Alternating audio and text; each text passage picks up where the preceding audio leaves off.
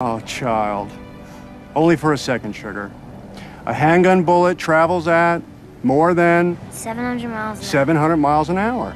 So at close range like this, the force is going to take you off your feet for sure, but it's really no more painful than a punch in the chest. Why are you getting punched in the chest? You're going to be fine, baby doll. Oh.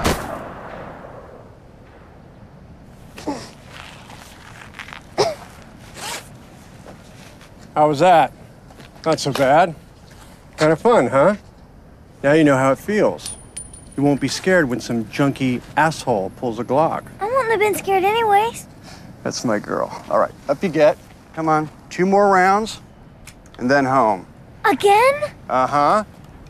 Look, only if we can go by the bowling alley on the way back. The bowling alley. Yeah? And ice cream after. Huh. Okay. Two more rounds.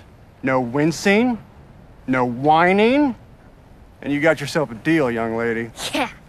I'm gonna get a hot fudge sundae. Good call, baby doll.